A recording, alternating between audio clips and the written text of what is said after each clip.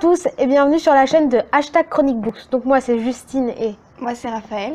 et, nous, vous- et nous allons vous présenter le livre Charlie plus Charlotte, donc aux, dé- aux éditions Pocket Jeunesse, écrit par Shannon Lee Alexander. J'adore mon accent. Euh, donc c'est une, une auteure américaine et c'est son premier roman. Donc déjà, la couverture. Alors elle m'a tout de suite intriguée. Elle m'a tout de suite attiré l'œil parce que au début on voit bien l'écriture euh, des prénoms comme si c'est un peu c'était marqué euh, sur un tableau à la craie avec toutes les petites références mathématiques et après on voit l'image. On est attiré par l'image ensuite. C'est un peu euh, filtre, un peu comme sur Snap Assez vintage. assez, vi- assez vintage. Enfin, donc elle m'a tout de suite attirée et c'est ça qui m'a un peu décidé à choisir ce livre.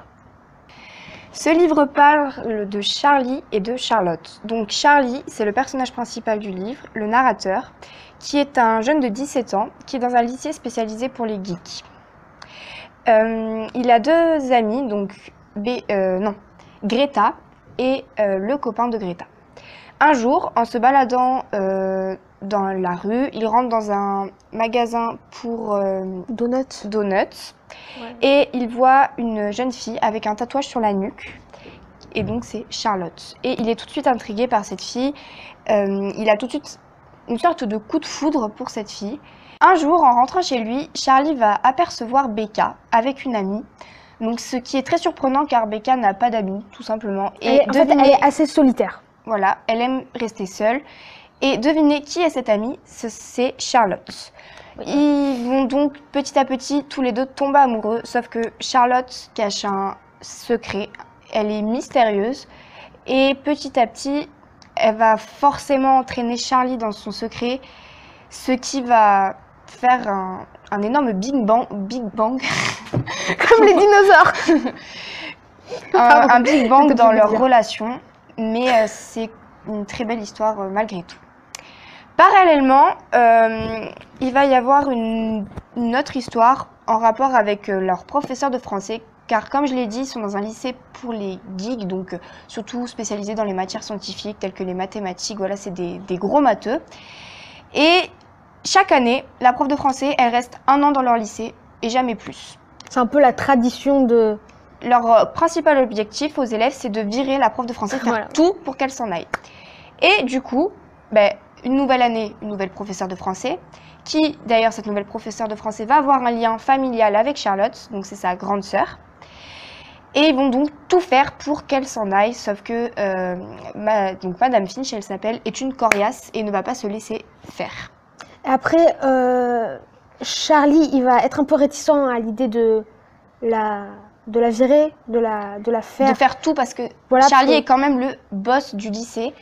Euh, c'est le plus populaire, euh, celui par exemple dès qu'il fait quelque chose, tout le monde va suivre son mouvement. Et voilà, mais il va être réticent parce que quand il va comprendre le lien, Entre De- Charlotte voilà. et, Et Madame Madame Finch. Finch, bah voilà.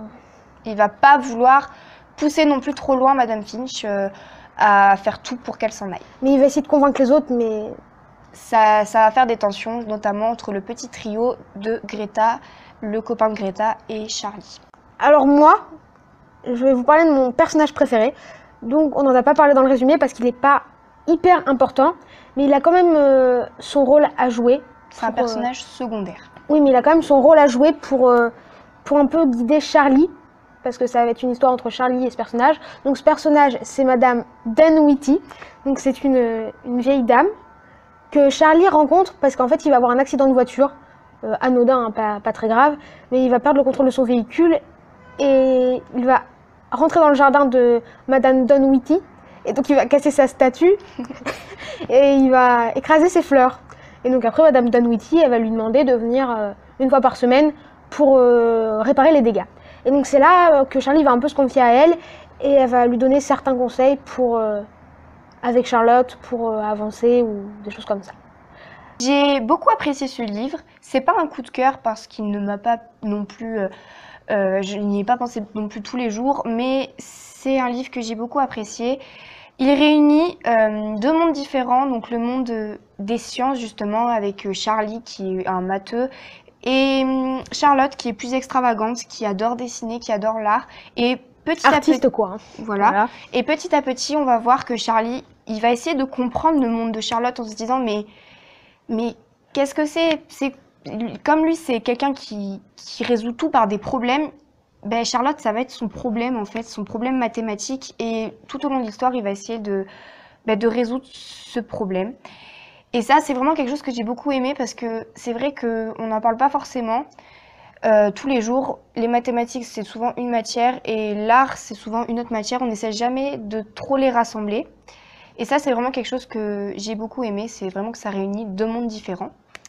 Après, j'ai beaucoup, beaucoup, beaucoup apprécié Charlotte, qui est pour moi hum, un personnage mystérieux, euh, mais en même temps assez extravagante, euh, marrante, qui, enfin, je me suis un peu identifiée à elle sur certains moments parce car elle est assez, pas, elle est pas prise de tête, elle, elle est hyper cool en fait. Et je sais que si elle existait vraiment, je pourrais être amie avec elle. Moi, de mon côté, s'il y a des personnes avec qui je devrais être amie, donc moi c'est pas Charlotte parce que je m'identifie pas trop à elle. Bon, de un, Madame Dunwetty, vous avez bien compris que je l'adorais, celle-là, je l'adore.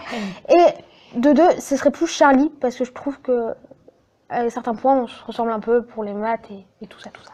Donc, vous êtes assez, assez carrés tous les deux. J'ai- Ouais, c'est ça. Ouais. Alors, au premier abord, j'ai trouvé les personnages très intéressants. Mais le problème, c'est que on arrive, j'ai moi, de mon côté, j'ai j'ai directement arrivé à les cerner. À part le secret de Charlotte, mais on s'en doute quand même.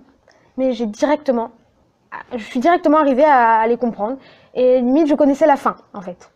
C'est pas vrai, je connaissais pas la fin, mais on s'en doutait fortement. Donc je vais pas vous le cacher, j'ai quand même été assez déçue de ce roman, même s'il a beaucoup de points positifs, euh, comme ce que je l'ai dit avant, euh, que le narrateur soit un garçon. Donc je le conseille euh, aux gens qui donc aiment bien les histoires d'amour, mais pas les histoires d'amour un peu trop approfondies parce que c'est pas Euh, allez- ça. vous n'allez pas retrouver euh, Titanic. Hein, euh. Euh, pas, pas du tout en fait. Mais donc, si vous aimez l'histoire d'amour et un livre un petit peu triste, c'est parfait pour vous. Mais voilà, pas non plus comme Roméo et Juliette. Non, quand même voilà. tenir- faut, faut quand même qu'on précise ça. On trouvera pas Titanic ni Roméo et Juliette, mais une petite histoire d'amour assez, assez sympathique et un peu triste à la fin, c'est vrai. Donc, on vous dit au revoir. À plus tard sur la chaîne de Hashtag Chronique Books. Vous pouvez venir voir notre- nos autres vidéos. N'hésitez pas à vous abonner, à lâcher un like, un commentaire, Et un commentaire. À partager, enfin tout ce que vous voulez. hein. Voilà. tout ce qui nous fait de la pub. Et donc, euh, au revoir à plus